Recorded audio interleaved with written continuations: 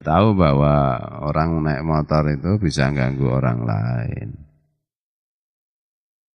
Anak-anak kita itu kita didik.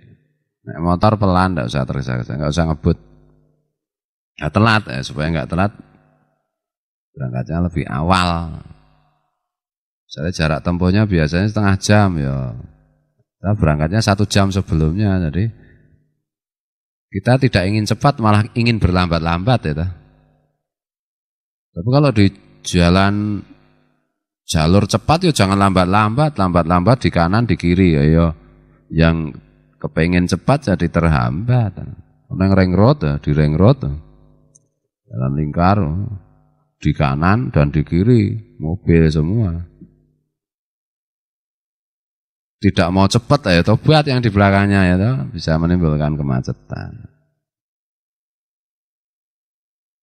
Jadi apa pun yang kita lakukan, kita usahakan tidak mengganggu orang, syukur-syukur me membuat orang lain nyaman, kita nyaman, orang lain nyaman. Jangan kita, yang penting saya nyaman, orang lain terganggu terserah, jangan begitu.